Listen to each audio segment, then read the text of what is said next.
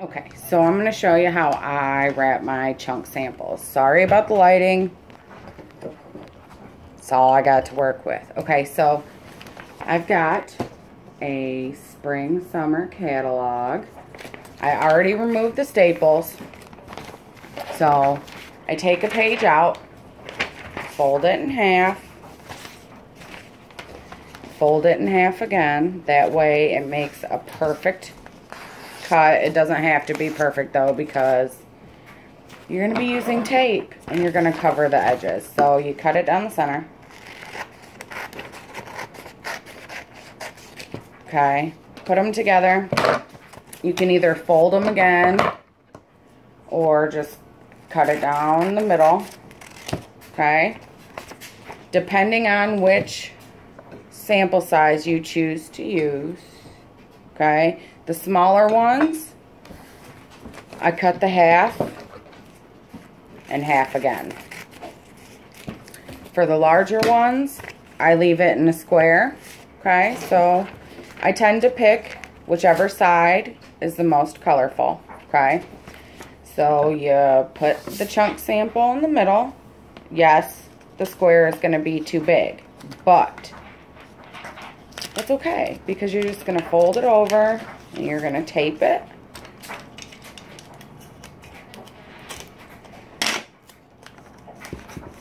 If there's too much on the ends for you, you can just snip them off wherever your chunk is.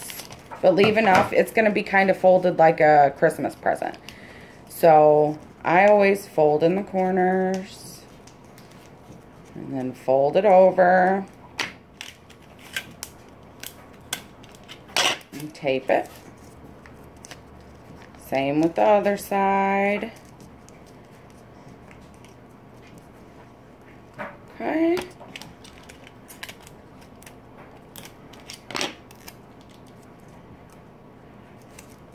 All right, so there's that, okay? Now this is roughly about the same size as the portal samples. So that works well if that's what you're going for. The littler ones, you tend to, you know, you can sample more of the chunk, but that's entirely up to you. Okay, so the half of the half of the half. Same idea, okay? You just fold it over and tape it. And they're like mini Christmas gifts, if you will. But however you decide to sample your chunk is up to you. Um, I choose to use old catalogs. That way I'm not throwing anything away. And since that's an investment you already made, you're still getting your money's worth. Or you can use the, the plastic sample bags. Whatever works for you, works for you. So, Two different sample sizes. It's completely up to you, but this is how I roll.